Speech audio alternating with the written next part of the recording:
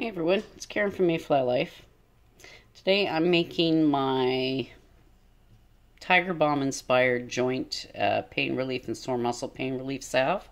And here in my bowl, I'm doing an infusion. As you can see, I've got water up in here and I'm doing a, uh,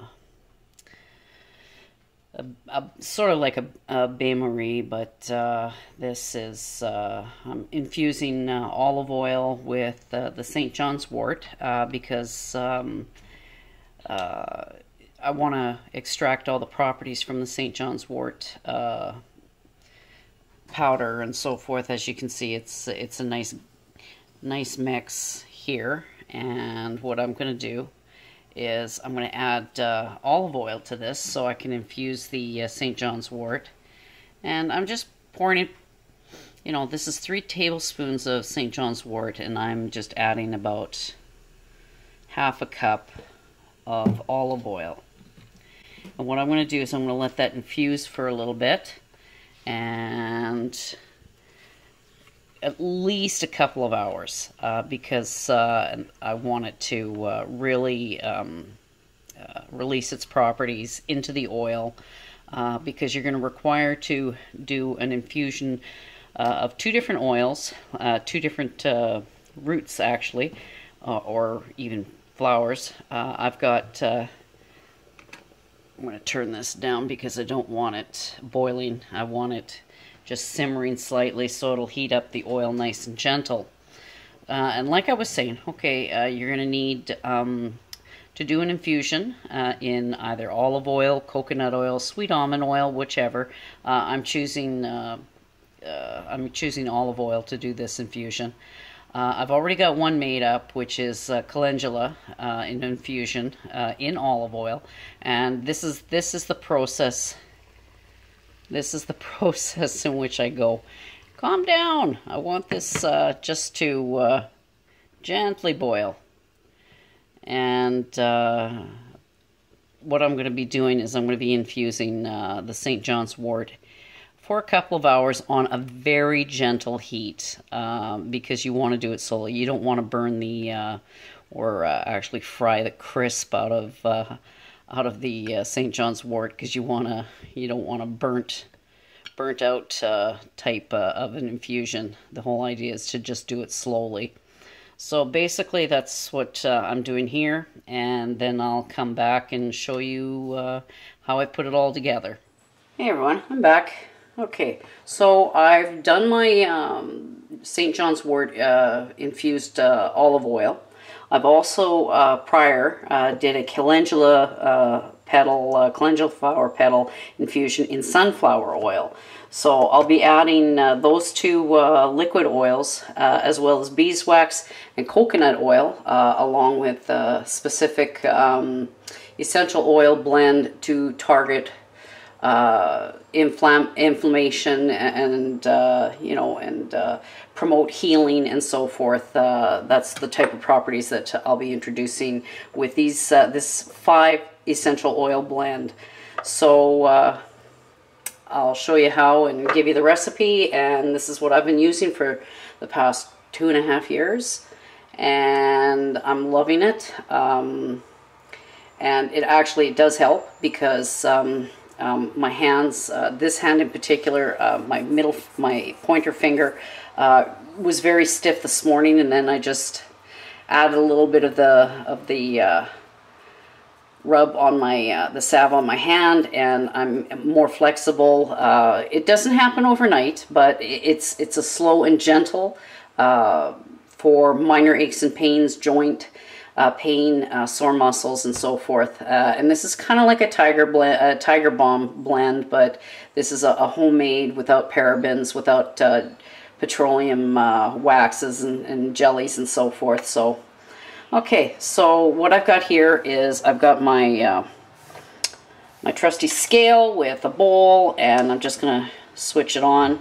And you're gonna hear me go between grams, ounces, whatever. Um, or uh, like I'm born in the old old school way. Uh, I don't really do grams very well, but I know uh, grams are more accurate than ounces and so forth. But for this uh, this particular demonstration, I'll be going in ounces. And um, what I'm going to first do is I'm adding half an ounce here of uh, beeswax uh, pellets. So this is the St. John's wort infused olive oil, and I'm doing a quarter of a cup of that. You notice I've got uh, left because uh, I'll be doing other projects. So, you know, I might as well uh, do a, a, a, nice size batch. And this is the calendula uh, flower petal uh, oil in sunflower oil. And it's a light oil. So you can do sunflower olive oil or uh, sweet almond oil. It doesn't really matter. And uh, when you when you do make this, uh, you can, um, depending on how hard you want it, you can add a few more uh, grams or whatever, or you know, minuscule amounts in ounces of uh, beeswax if you want. Uh, it doesn't really matter. And so now what I'm going to do is I'm going to add a tablespoon plus one teaspoon of coconut oil. Okay, so I've got a tablespoon here of coconut oil. I'm just going to plop it in there.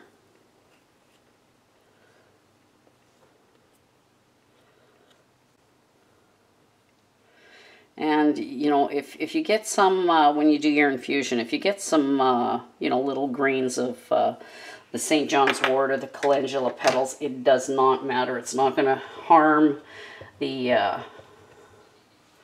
it's not going to harm the uh, infused oil, so, but, uh, and plus two, if you go a little over the one uh, tablespoon, one teaspoon uh, coconut oil, that's fine. It's not going to kill the recipe. It's, this is not precise, you know, measurements uh, like you would in a, like in a lotion formula or, or uh, soap or whatever.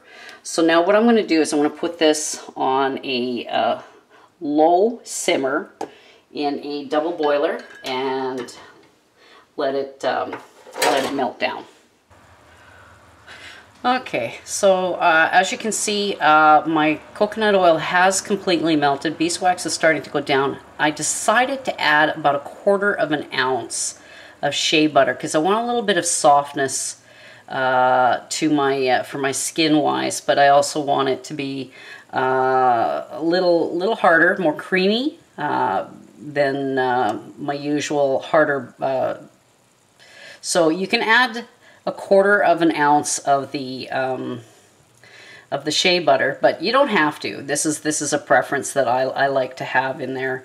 Um, so uh, that's what I did was I added uh, added uh, shea butter.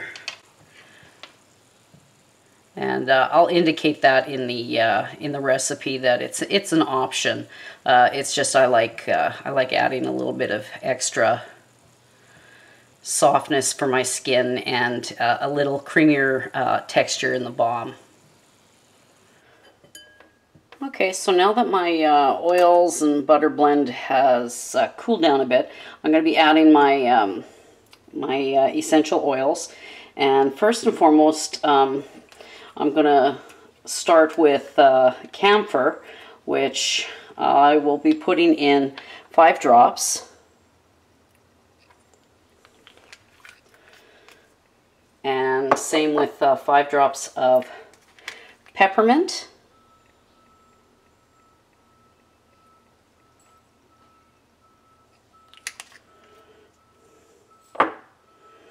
I will be putting in four drops of eucalyptus.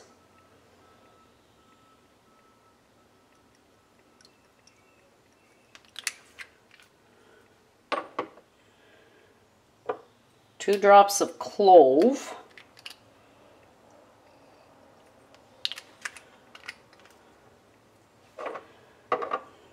Mm, it's already starting to smell good. And three drops of cinnamon.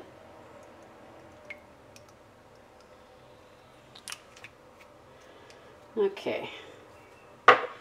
So I'm going to give this a good little mix.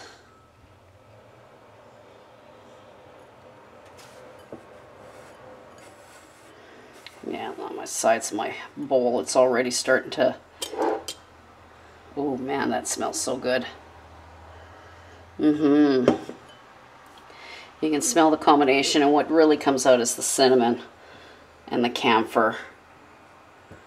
So, now what I've got here is I've just got a little uh, flip top. i uh, you can put it in um, in any any kind of uh, container. You can even do uh, like a tin or whatever, but uh, because this is a larger uh, batch, I'm going to put it in my jar here.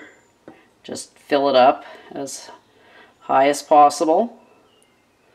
And I still have some left over that I can actually use uh, immediately.